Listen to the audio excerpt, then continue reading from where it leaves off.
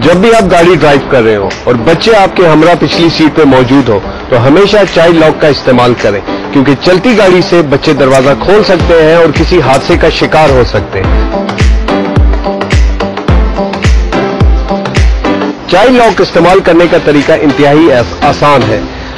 पिछले दरवाजों में मौजूद एक नॉब होती है, जिसको अगर नीचे कर दिया जाए तो चाइल्ड लॉक लग जाता है, जिसकी वजह से गाड़ी अंदर से नहीं खुलती, अलबत्ता बाहर की साइड से गाड़ी खुल हमेशा चाइल्ड लॉक का इस्तेमाल करें।